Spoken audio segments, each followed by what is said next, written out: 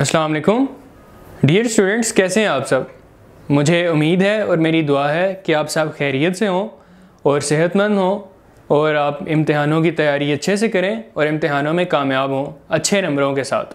तो dear students आज हम कर रहे हैं अपना किताब का, हमारी किताब का लेसन है लेसन नंबर टेन जो है हज़रत उमर और इसकी हम एक्सरसाइज कर रहे हैं। एक्सरसाइज का हम पार्ट डी कर रहे हैं। एक्सरसाइज का पार्ट डी हम आज कर रहे हैं, जो है match the columns dear students इसमें किया ये गया है कि हमें ये वर्ड्स दिए गए हैं और इसके साथ एक कॉलम और दिया गया है।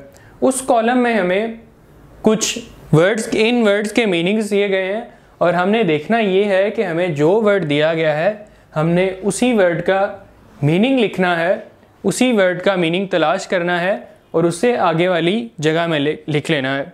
तो आज हम क्या करेंगे? हम ना सिर्फ़ ये कि वर्ड्स को उनके मीनिंग के साथ कनेक्ट करेंगे, बल्कि ये देखेंगे कि कॉलम्स को मैच द कॉलम्स के क्वेश्चन को अच्छे तरीके से अटैम्प्ट कैसे करते हैं। कई दफ़ा ऐसा होता है कि हमें कुछ वर्ड्स के मीनिंग्स नहीं पता होते, हमें पता नहीं होता कि अगले कॉलम में हमने क्या लिखना है। तो ऐसे में हम करते ये हैं कि जिस वर्ड का मीनिंग नहीं आता उसे हम छोड़ देते हैं। हम अगले वर्ड की तरफ़ चले जाते हैं, उस वर्ड को छोड़ के।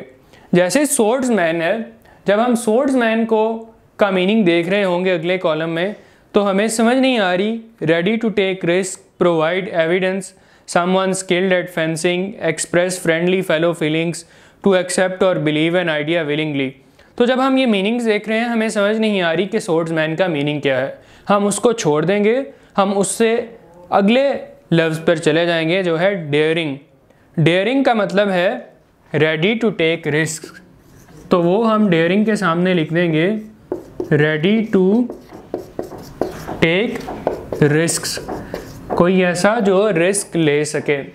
फिर हम अगला वर्ड देखते हैं एम्ब्रेस्ड एम्ब्रेस्ड का मतलब है टू एक्सेप्ट और believe an idea willingly to accept और belief in an idea in an idea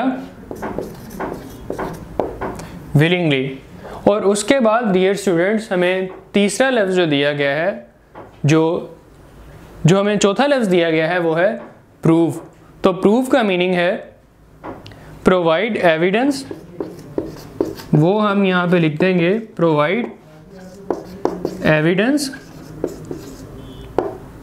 और आखिरी लफ्ज़ जो हमें दिया गया है वो है सिंपथेटिक सिंपथेटिक का मतलब है express friendly fellow feelings express friendly fellow feelings के एक दोस्त के जैसा दोस्ताना जज्बात का इजहार करना। फ्रेंडली फेलो फीलिंग्स का इजहार करना डियर स्टूडेंट्स वो सिंपथेटिक होगा। अब हमने सारे वर्ड्स को उनके मीनिंग्स के साथ मिला दिया है। हमें एक लफ्ज़ का मतलब नहीं था आता, और वो था सोर्ड्समैन तो हमारे पीछे एक ही लफ्ज़ बच गया है, और वही है सोर्ड्समैन का meaning someone skilled at